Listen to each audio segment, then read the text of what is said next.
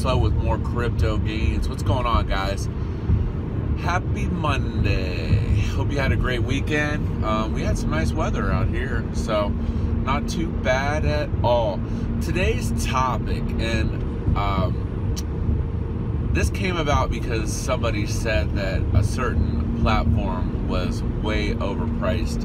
And, you know, I'm always thinking about kind of the higher level thought processes of a lot of these things. And that question is what is value?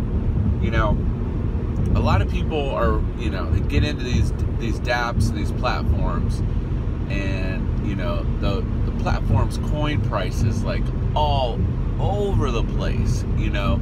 It's 5, it's 10, it's 20, it's, you know, rubies were up to up to almost 70 and then you know, then they drop to below 10. And you're like, what is causing that? Well, first and foremost, before I get into the, types of value per se, is you have to recognize there's different reasons why people value these platforms. And that's what causes all these erratic prices. Um, you know, really, one of the only only platform coins to hold a somewhat stable value is TronBet. And I know you can go in circles and people say this and that about TronBet, but you know, it is what it is. The facts are the the price of Ante has stayed pretty stable compared to other platforms. So, um, let's talk about value. So, I think first and foremost, people have been short-sighted and the reason why you're seeing so much volatility in these prices on these platforms is because people have no loyalty to a platform anymore. They are they are instantly chasing massive div payouts and then trying to sell their platform coin as fast as possible. And it just causes these big erratic shifts.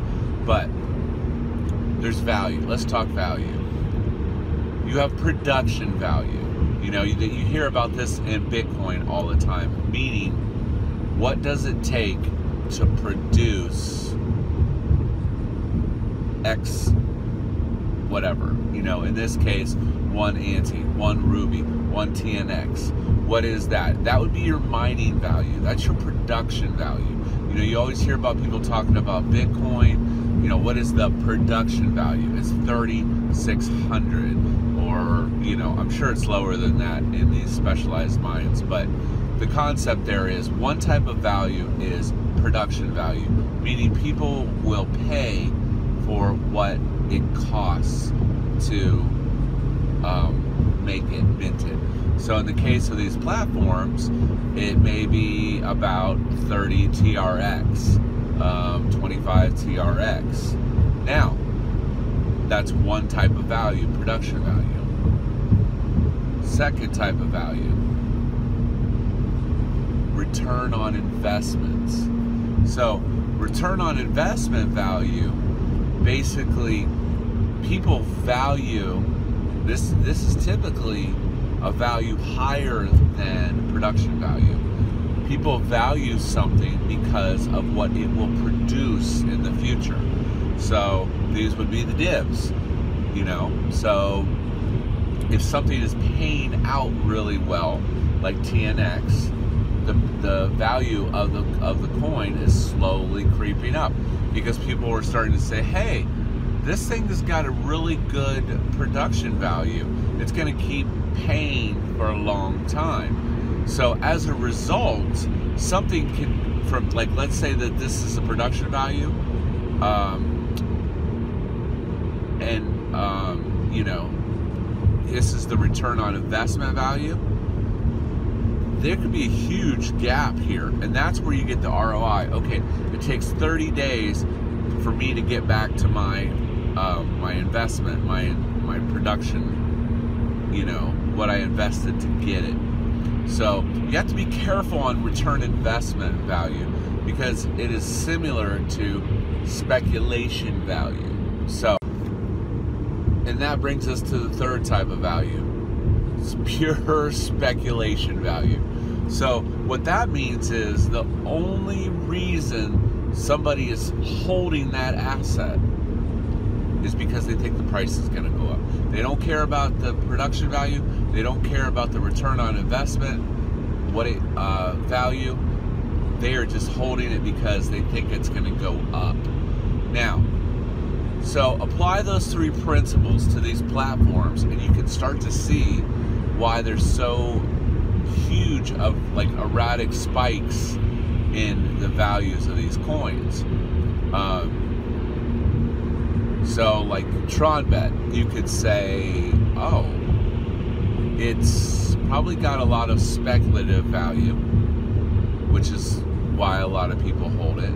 Um, because the return on investment value seems low compared to like TNX. You know, it's paying out much higher on the daily. It's a one to one where TronBet might be 0.07 or 0.1. So, you know, so kind of think about that when you get into some of these platforms and say, ask yourself, why am I holding this this platform coin? Is it for speculation because you think the coin price is going to skyrocket? Is it for return on investment because you think the divs are just going to keep paying, paying, and paying, or the divs pay at a higher rate than others? Or thirdly, um, did you get it because the price is so low that you think it's at the production value? Now, what I will say is some of the takeaways is that people are jumping platforms so fast that most coins cannot hold their production value right now. Period. There really is no coin, not that I can think of, there is no platform coin that is holding its production value. Like TNX, Tron Next, things all over the place. It's very hard to beat the house on that. I've tried.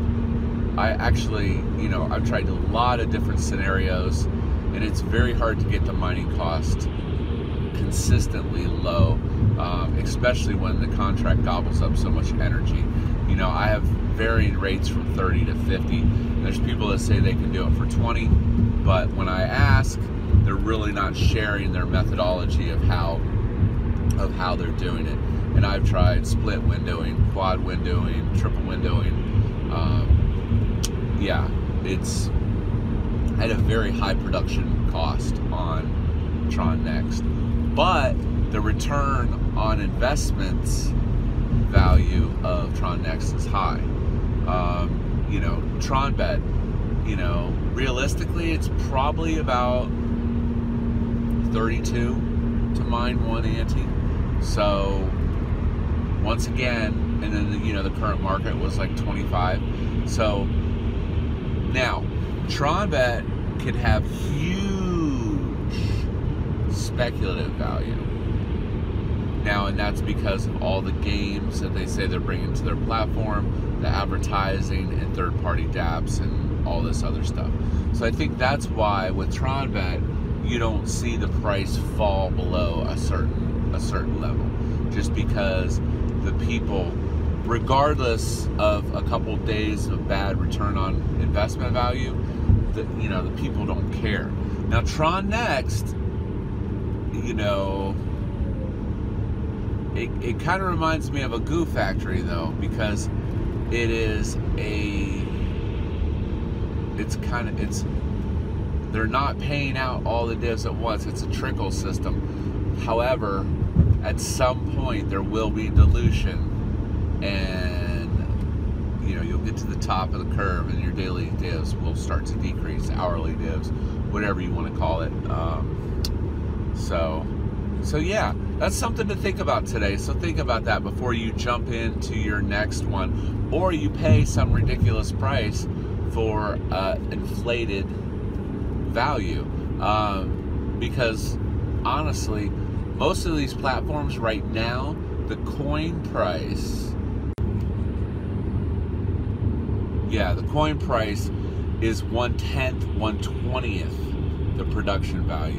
So basically, that means that most of these platforms are mining garbage, meaning the price to produce it doesn't even come close to the market value.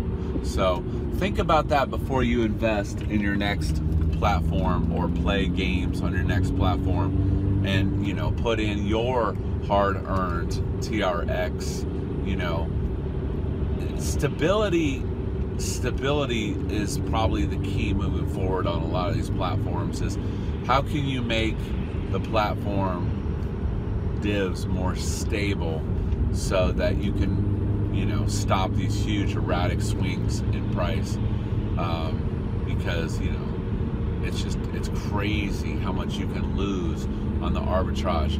When I when I say the arbitrage of the coin, meaning let's say you paid 30 on Monday and then Wednesday the coin price drops to 15, you just got you've got you just got wrecked on that. So um, something to think about: production value, return on investment value, speculative value. Why are you buying that coin?